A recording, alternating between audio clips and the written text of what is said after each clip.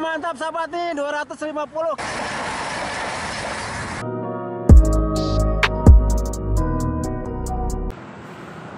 Assalamualaikum warahmatullahi wabarakatuh. Sahabat jumpa lagi dengan saya Fauzi ya di channel Kang Tamim.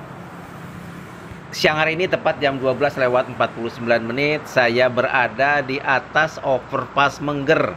Untuk melakukan pemantauan Rangkaian kereta cepat CIT Melakukan hot sliding test Stasiun Tegaluar sampai ke stasiun Halim Pulang pergi sebanyak tiga kali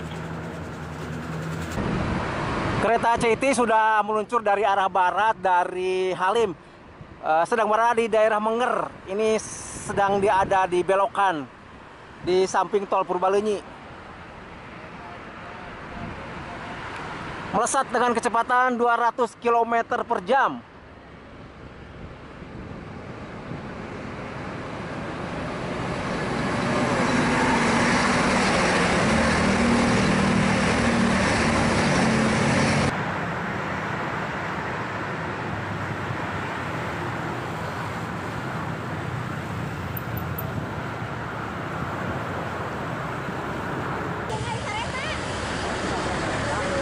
Setelah bergerak ke arah timur stasiun Tegaluar dan istirahat selama 15 menit, CIT kembali bergerak ke arah barat arah stasiun Halim. Melesat di jalur satu dengan kecepatan 200 km per jam.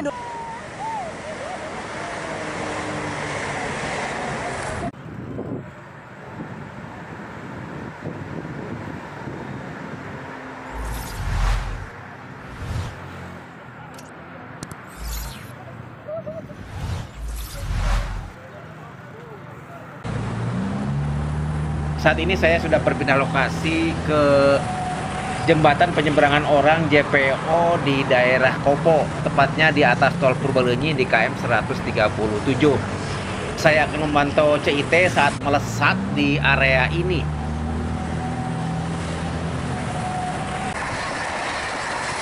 CIT melesat dari arah barat, stasiun Halim menuju ke arah timur, stasiun Tegaluar di atas subgrade kereta cepat Jakarta Bandung di area Kopo. Sisi sebelah utara tol Purbalenyi KM 137. Terlihat eh, lampunya sudah menyorot di sebelah timur. Nah ini sedang berada di jalur satu ya di atas subgrade.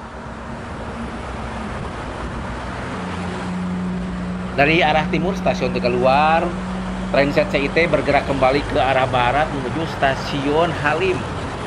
Dan ini merupakan aktivitas CIT melakukan hot sliding test yang ketiga. Kemungkinan ini merupakan aktivitas tesan yang terakhir untuk hari ini.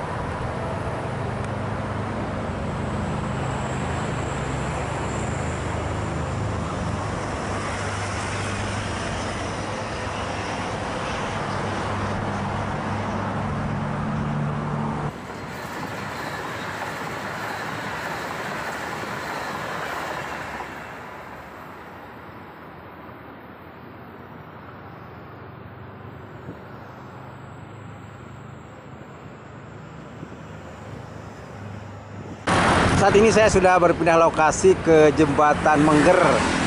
Di sini eh, trek kereta cepat Jakarta Bandung berdampingan dengan jalan tol Purbalenyi. Nah ini ke arah timur menuju ke stasiun Tegaluar.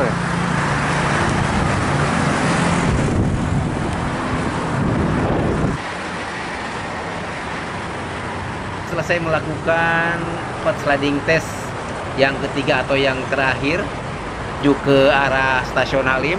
Saat ini Transit CIT sudah kembali dari Halim menuju ke stasiun Tegaluar. Melesat ke arah timur di subgrade Mengger.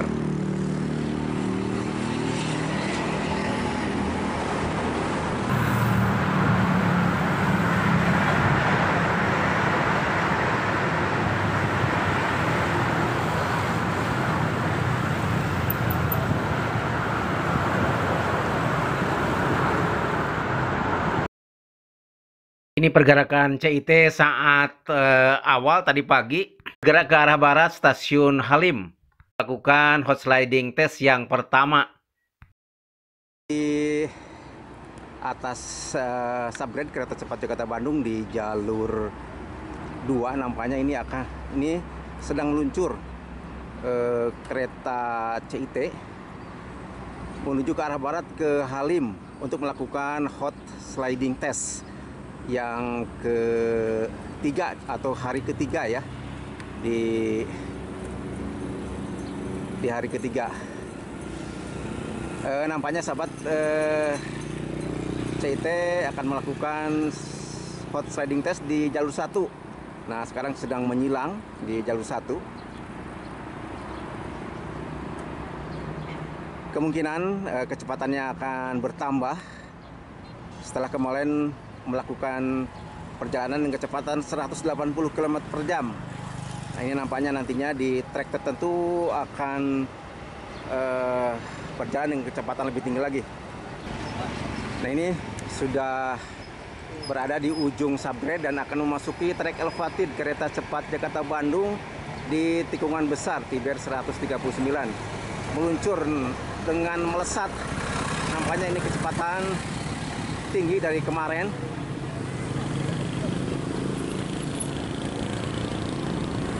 ini sedang menikung dan menanjak menuju ke arah barat ke arah Halim. CT ini akan menempuh perjalanan 142,3 km dan secara bertahap kecepatannya akan ditambah.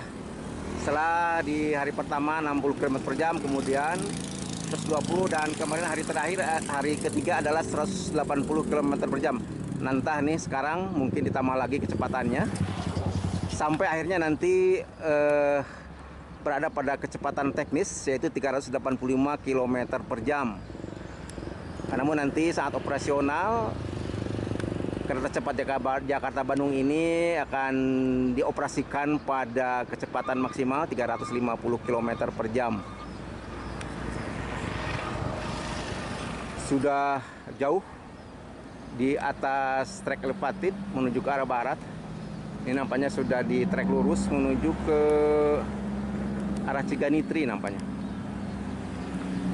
Sahabat itulah informasi yang bisa saya sampaikan pada hari ini mulai pagi sampai sore hari Selasa 23 Mei 2023 terkait eh, kegiatan atau aktivitas hot sliding test kereta CIT dari stasiun Tegaluar menuju stasiun Halim sebanyak tiga kali pulang pergi atau PP. Semoga informasi ini bermanfaat bagi sahabat semua. Wassalamualaikum warahmatullahi wabarakatuh.